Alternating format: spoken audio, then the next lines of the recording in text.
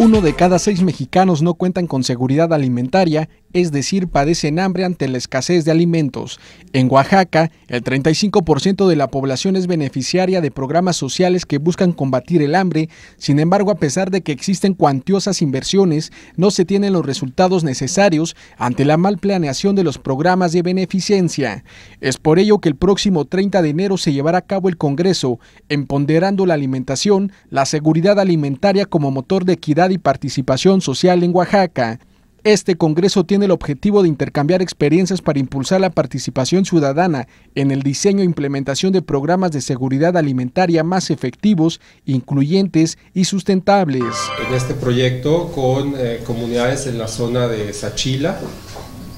aquí en Oaxaca de Juárez también, y en la Mixteca eh, con eh, eh, San Francisco Nusaño, con Tilantongo, Yodocono, Yodocono y ya, ¿no? Son esos tres, estos tres municipios, tres municipios de la Mixteca y dos de aquí de, Oaxaca. Es un proyecto que en conjunto ha beneficiado a más de 3.000 personas en cinco municipios y tiene la particularidad de que busca en específico complementar uh, un programa vigente en el estado de Oaxaca, que es el de comedores, cocinas comedores eh, comunitarios del DIF.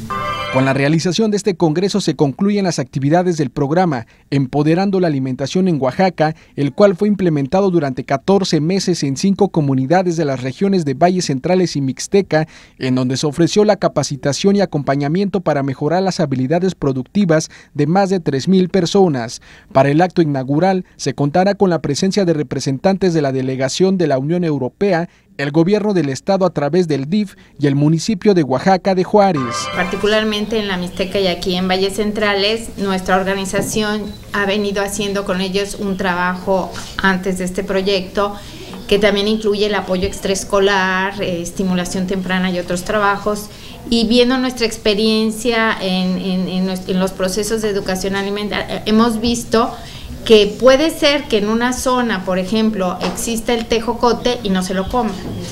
Entonces nosotros lo y que hay comedores pero repiten los mismos menús y no no saben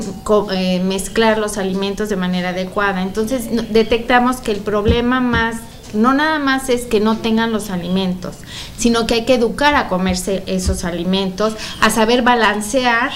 porque a lo mejor tienen la teoría, porque gracias a, muchos programas donde se les ha enseñado, por ejemplo, el plato del buen comer, ellos saben el plato del buen comer, pero al, final no lo hacen